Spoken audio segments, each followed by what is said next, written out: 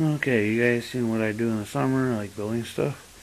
Well, this is what I do in the winter. This is my little wood wood workshop.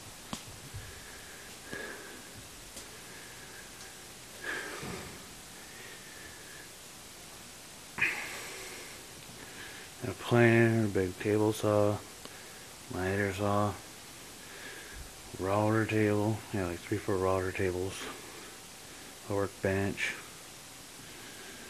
hmm, Porter-Cable, uh, dovetail machine. Yes, I got a computer down here too. Uh, spindle sander. Yeah, I'll show you guys how to make some cheap uh, cupboard doors. I'll show you what they look like here. You know, they're cheap. They look really good. You can make them fairly easy.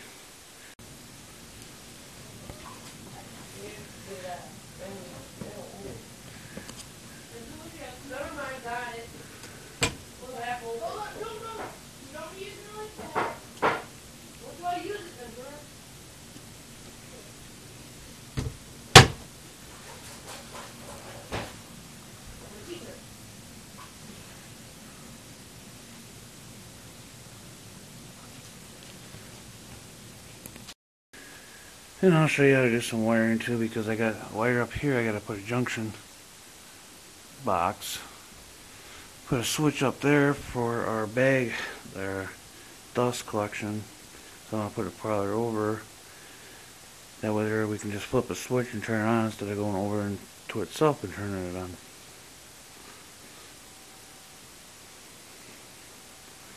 So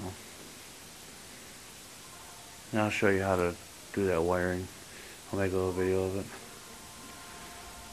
But yeah, that's what I do in the winter down here. I make I got a bunch of cabinets I gotta make, so I'll show you how to do that. And there's one tool that I really like for making cabinets and doors. It's this thing. It's for doing uh, what do you call those uh It's really handy tools for making, putting in the pocket hole, I think they call it. Drill into the board and screw in there strong. So.